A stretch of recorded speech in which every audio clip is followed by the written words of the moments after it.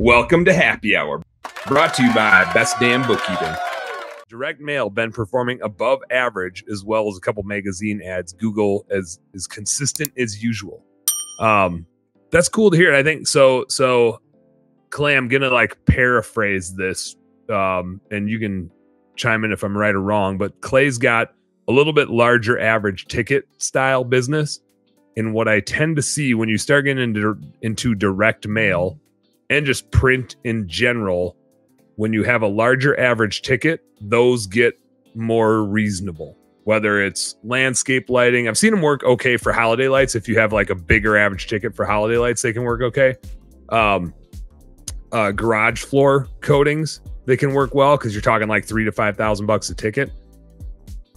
I'm curious, I, Sean. I don't know if you ever did them for maid service back in the day. Um, it was huge.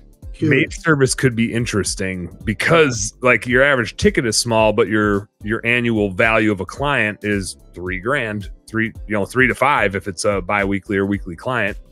So there's something to be said about direct mail in, in some of those places. You're not going to like the what I'm going to say, but it's it, it, helped my business grow dramatically, um, like by threefold in about two years and that was I I was doing a lot of barter stuff mm-hmm. uh, at the time. You're right. I'm not going to like that. I know exactly. Here's another reason you're not going to like it because I was bartering with RSVP.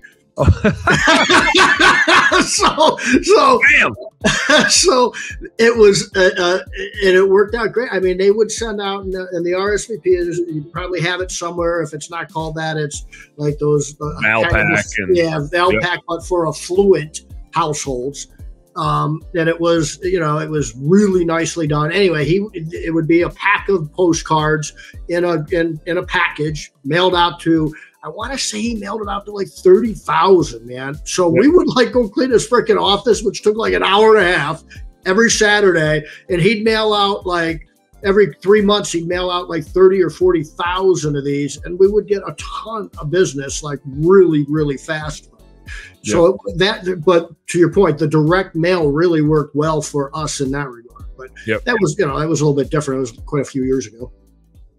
Yeah, that was like ten years ago. It, more than that, probably. Yeah. Flies. Yeah, it, I've been out of it for eight years, so it's probably been fifteen years ago. Damn. Damn. Yeah. Hey, home service heroes! Thank you guys so much for tuning into our home service happy hour content today. I sure hope you learned a little something, and I sure as heck hope that it was entertaining.